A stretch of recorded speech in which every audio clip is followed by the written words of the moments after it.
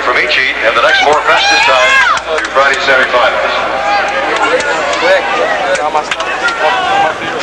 Dan Steele of Eastern Illinois, the leader.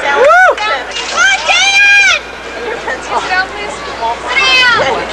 Can sit down, please? Hey, hey, down in front. Thank you. Bob Gray of Oregon running well in lane number four.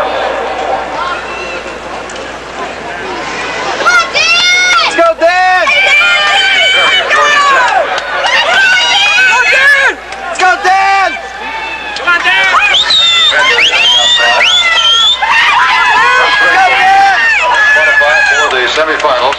Octavius Terry, the freshman from Georgia Tech. 50 seconds left.